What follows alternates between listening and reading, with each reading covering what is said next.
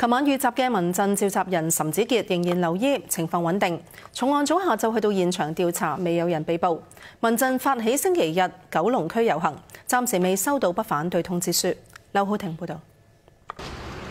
旺角區重案組探員下晝到岑子傑遇襲嘅鴉蘭里調查，喺附近停泊嘅私家車攞走閉路電視片段，又到附近嘅車房同地盤查問。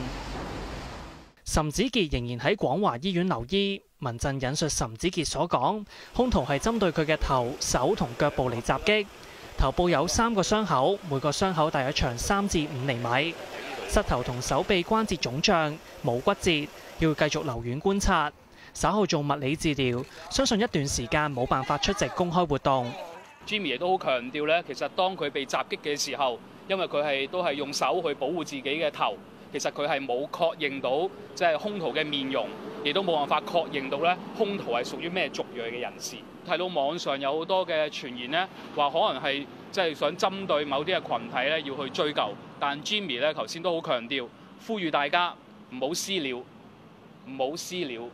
政務司司長張建宗高度關注事件，暴力任何形式不能夠係接受嘅，呢個係違法，亦都係我哋我成日強調暴力。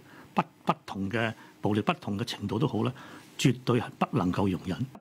佢相信警方會嚴正跟進，追究責任。有線電視記者劉婷報道。一手掌握有線新聞。